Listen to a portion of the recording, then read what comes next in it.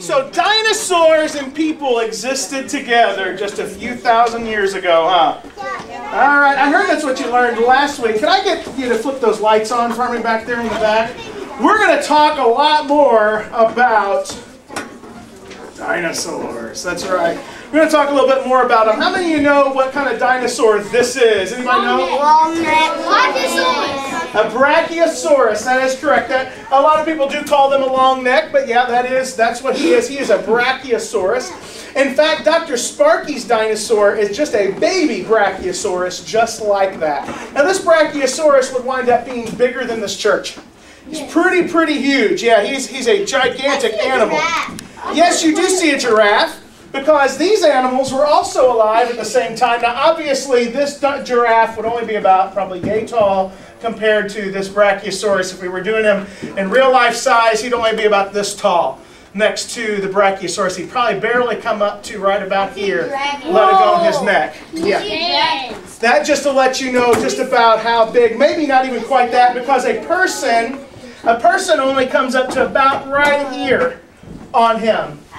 If you can imagine that. I see a hippo. I have So actually, this giraffe would probably be much smaller. Yes, and you see a hippo, and you see an I have a elephant. book about a hippo. We're going to talk about these. How do many know what this is? A triceratops. Triceratops. Very good. And everybody's favorite dinosaur is T-Rex. T-Rex. That's right. Why is he everybody's favorite? I guess it's because he's mean and nasty. Does anybody know what this dinosaur is? What? Leviathan. Is the name of this particular dinosaur. This is not one dinosaur that you see talked about a whole lot, but you are correct. It is a water dinosaur. Quite possibly, a dinosaur similar to this is where they got the whole idea for the Loch Ness monster. Because they are serpent-like, as in serpent, I mean snake-like, and uh, you usually see them as humps coming up out of the water. So that is that is kind of some of the dinosaurs that you would see that we're going to talk about today. Now, how many remember today's power verse? Anybody know what today's power verse is? It's probably in my Bible. I don't. Who is the power verse about today? Job. Job, that's right. And God was talking to Job, and He talked to him about a particular animal. What animal was it He was talking to him about? Dinosaur. Leviathan, that's correct. Leviathan is the particular dinosaur that they were referring to today in your power verse. Leviathan, now this is this is a artist's idea of what Leviathan might look like based upon the description in the Bible and based upon actual fossil records that they have found. Now, I wanted to talk to you today about these dinosaurs. I think Brother Greg filled you in last week about some cool stuff, but how many of you, this is your first time here today? Wave at me if this is your first time here.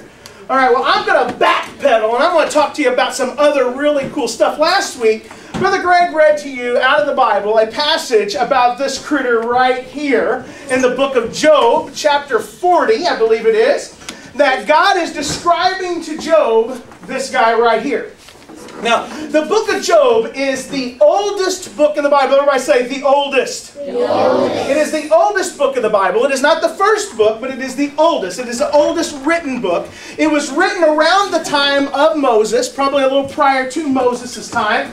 And when Job was being tested and tried, Job came through it beautifully, by the way, because no matter what happened to Job, God took care of him, and he knew that God would take care of him, and he did. Well, after this was all over, in the 40th chapter of the book of Job, God says to him, He said, Have you considered Behemoth? Take a good look at Behemoth. And he starts describing to him his, his ribs are like iron bars, and his tail is like a cedar tree.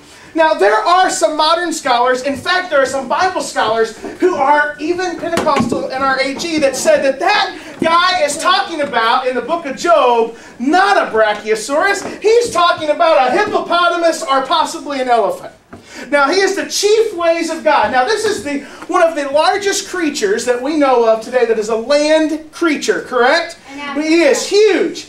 Look at that cedar tree back there. Is that a cedar tree? No. No, that's a poop slinger, right?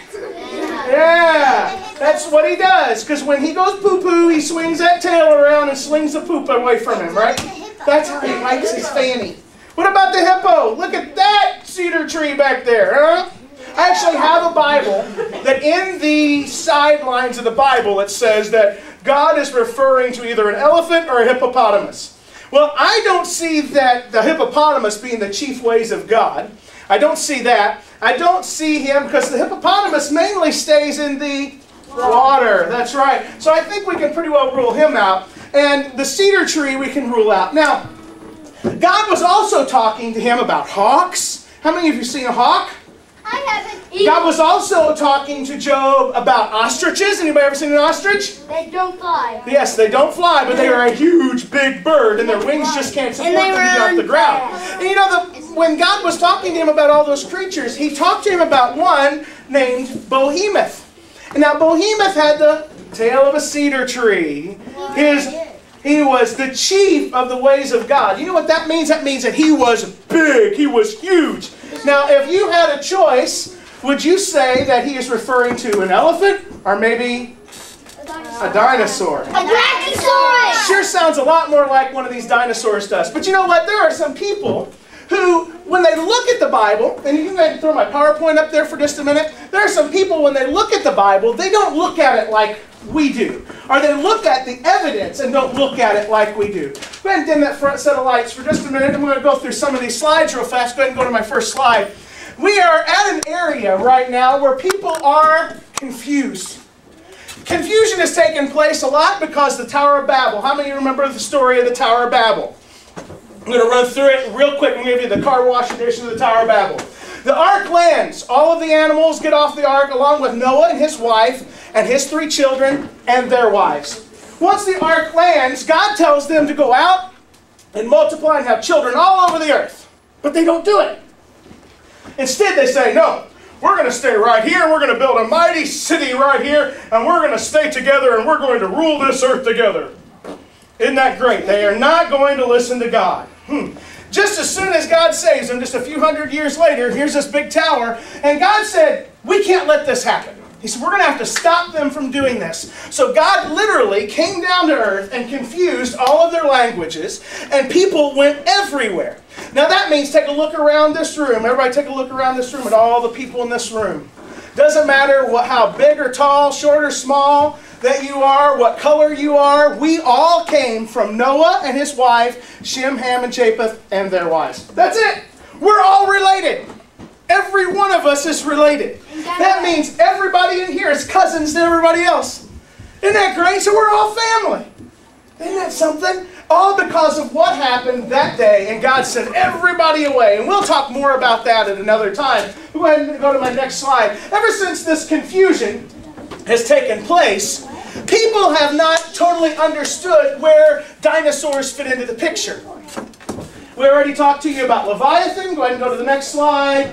And this is another one. This is an artist rendition of what they call bunyip. This is an animal that the Aborigines have decided that they have found in Australia. This is a literal drawing of some natives from Australia. This is an animal that they saw. It looks a lot like what? A dinosaur, doesn't it? Okay. Uh, a little bit like a T-Rex, except for a little bit longer arms there. Go ahead and go to the next slide.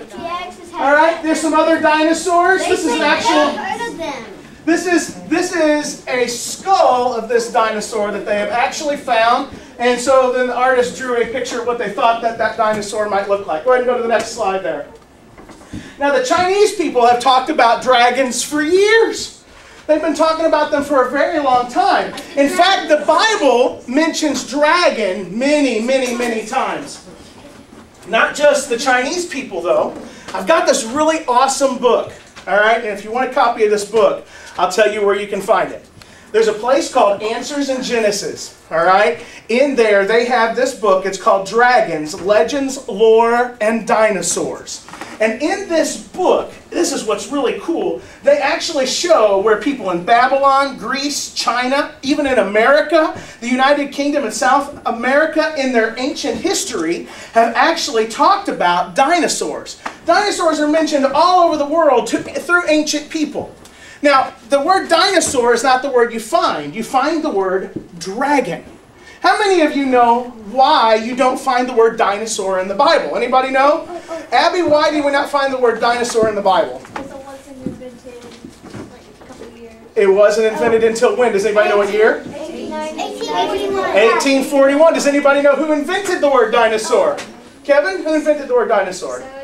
Sir Richard Owen invented the word dinosaur in the year 1841. He found a giant lizard bone and he goes, "Ah, This is a dinosaur. Now, the ancient Greeks had a word for these dragons. They were called Dracos. Draco was a giant lizard. The ancient Greeks had a category for the giant lizards called Dracos. Really close to dragon, isn't it? So Sir Richard Owen invented the word dinosaur in 1841. Does anybody know what year our Bible was translated into English? Does anybody know? James. King James did it. Yes, King James. Your King James version of the Bible. Do you know what year that was? I'll give you a hint. It was exactly 400 years ago. Exactly. Yeah. So take 2011 and minus 400. Does anybody know? I'll do the math for you really quick. The year 1611. In the year 1611, King, King James translated our Bible over into English for the first time legally. And now you and I have a Bible. That Bible that you have, the King James Version of that Bible, is 400 years old. Now, the earth is how many years old? Does anybody remember? 614. Around 6,014 years, according to biblical timelines and our math that we were best able to calculate, right around 6,014 years old. But it didn't come into our language until just 400 years ago. Wow, that's pretty cool though, isn't it? Now we have a Bible and we have that Bible translated in 1611. The word dinosaur hasn't been invented yet, so they would have to use a word that they would have understood at that time, which would have been what? Dragon, dragon. that's right. So they would have had to put the word dragon in there in 1611 because we didn't have the word dinosaur. And that's why you don't find the word dinosaur written in the Bible, but we do find creatures like in Job chapter 40 talking about behemoth, and we also hear them in Job chapter 41 talking about Leviathan. Now, if these animals are now dead and extinct, and we no longer have any of these animals around, when did these animals get their names? Well, their animals would have gotten their names sometime after the year 1840 when they found them and they started categorizing these animals. The word Brachiosaurus was not around back in Bible times. So when God was talking about behemoth, this would have been the creature that Adam gave the name behemoth to. Because Adam in the garden named all of the animals. Adam gave all the animals a name. So actually, when we call this a brachiosaurus, if the Bible is explaining the brachiosaurus, then we're actually talking about behemoth, and that's the name that Adam gave to this creature. Now that is really cool. Knowing that our great great great great great great great great great great great great great great great great grandfather named him Behemoth. And so we have new names and new words because these items were lost to us. Now, let's pretend for a minute that there were no more giraffes. They were all gone. The giraffes had went extinct. Let's zip forward about 2,000 years into the future. Let's say now we're in a place that in time that they call the information age. That means we have computers and we have books and we have all kinds of stuff that is preserving knowledge for years to come. But let's just say we don't have that because back in the Bible times, all they had was handwritten scrolls. Let's just say that this giraffe dies and 2,000 years later, there is nothing. But somebody finds the bone of a long-necked horse. Well, what would they say? Because doesn't a giraffe look a little bit like a long-necked horse? Maybe a little longer legs. He's got legs kind of like a Clydesdale, right? And he's got a long neck. If you took that neck down a little bit, shorten those legs, he'd look a whole lot like a horse, wouldn't he? So, you know, 2,000 years from now, if nobody saw this, they would go, that's a long-necked horse. And they'd come up with some kind of long, weird, crazy name for him, and we'd be all like, that's a giraffe, dude. Right? Because when they die off and you forget about what they are, you call them what you think they are. And that's exactly what has happened to many of our dinosaurs that have died. They probably had other names that we don't know anything about. Now, there's a there is a animal that everybody will go, "Oh, I know what that is. I, I say the word unicorn, right? Unicorn. What's a unicorn? Exist. Animal. A unicorn is an extinct animal, but it is not a horse with a horn sticking out of its head.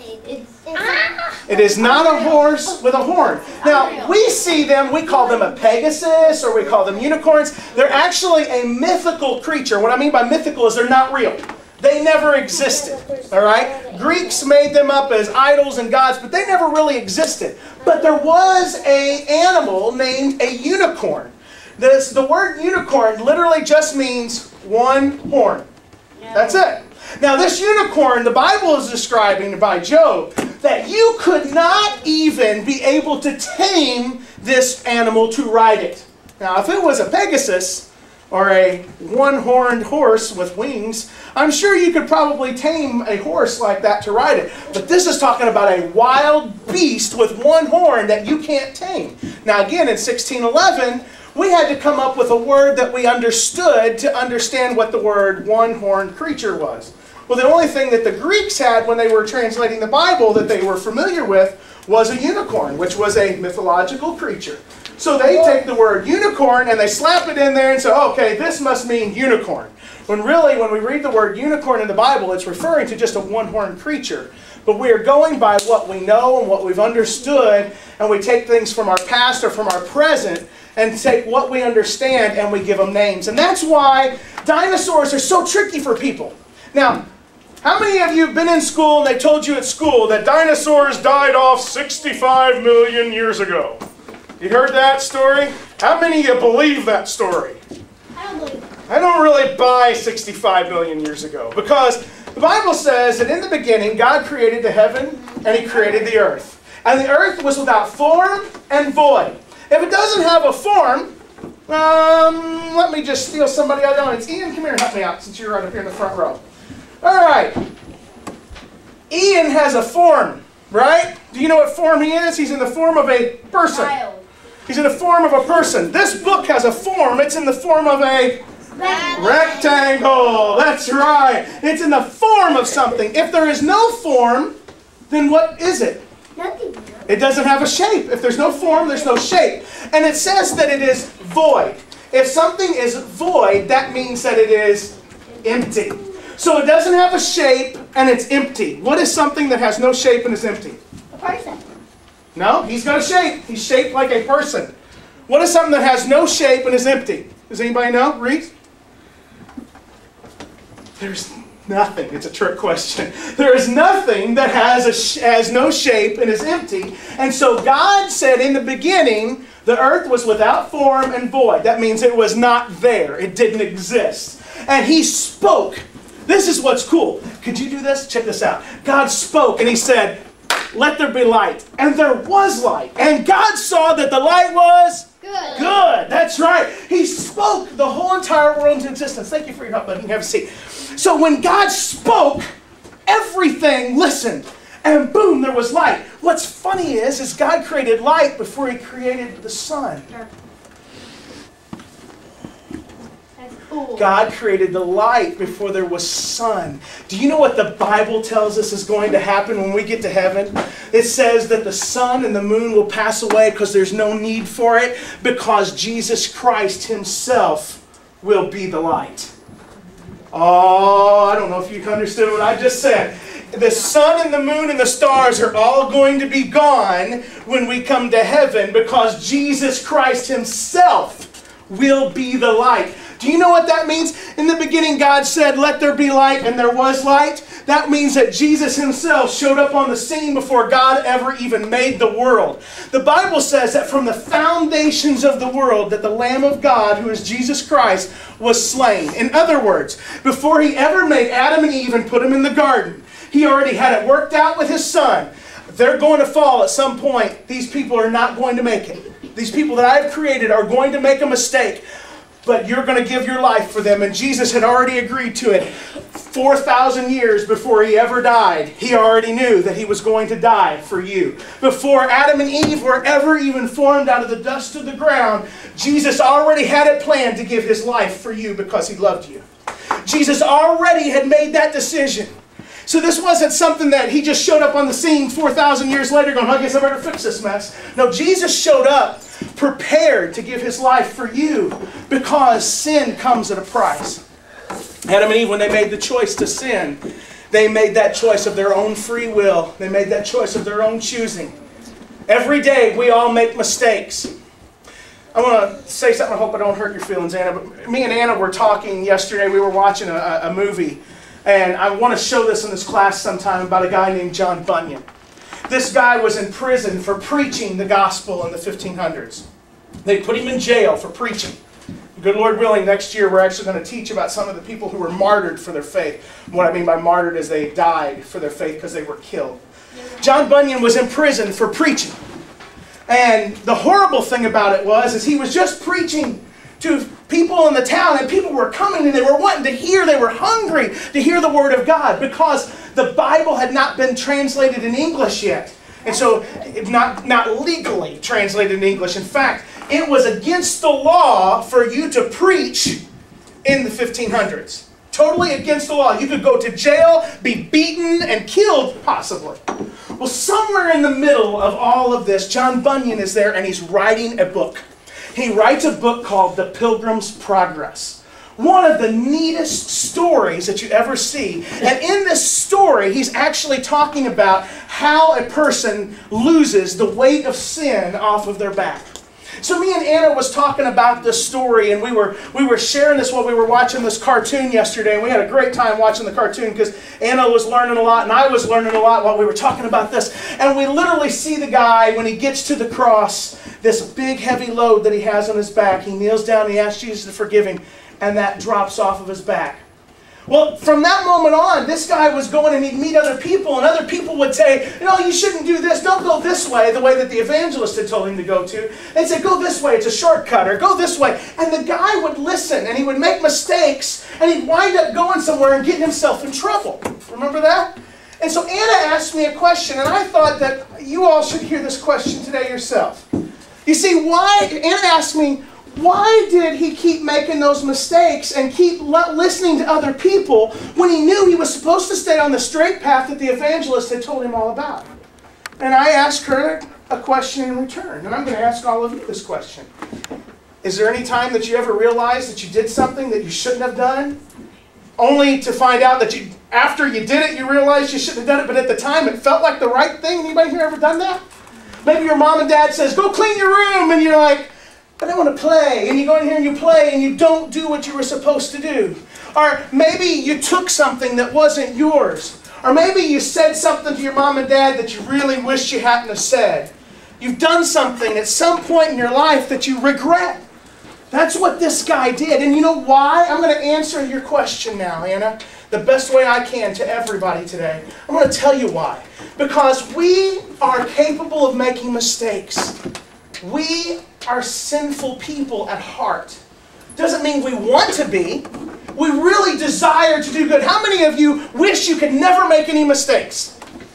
We want to be that kind of person. We want to be the kind of person who never messes up. We want to be the kind of person who does everything that God wants us to do. And we respect our parents and we respect our teachers and we respect everybody that has authority over us. We really want to. But there's something deep down inside of us that causes us to slide off of that road and make that mistake. But the cool thing was, in this story that John Bunyan was telling, and I, I promise I'll show this sometime in here because it is a great story.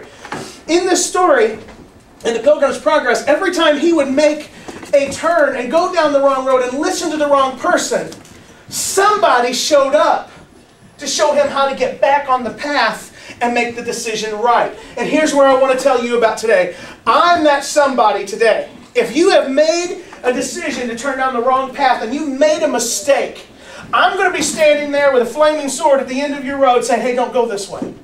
You go back to the way you know is supposed to be right, and you take that straight path. Don't go to the right, don't go to the left. Keep going the way you're supposed to go. You see, the Bible says, if any man sins, he has an advocate with the Father, which is Christ Jesus. That word advocate literally means lawyer. Let me explain this. When you mess up, Jesus Christ is your lawyer, God is the judge. And Jesus goes to God and says, Hey, look, you know what? I know Hannah's messed up, but she's mine. And you promised me you would forgive her. And he has to forgive her and let her go because of the blood of Jesus. Not only does that count for Hannah, that counts for Lexi, it counts for Ian and Caitlin and Julia and Emma and everybody on this side of the room and everybody on this side of the room and everybody that's not even in church today. All you have to do is accept Jesus Christ as your Savior, and He'll come into your heart and He'll forgive you of all of your sins. The question is, is why then is it so important? If I'm talking about all of that, why is it so important that you understand that dinosaurs lived in the Garden of Eden with people? I'm going to tell you why it's so important. If all of that is so important, then why would I push this so hard? I'm going to tell you why. Because the Word of God is 100% true and it does not fail.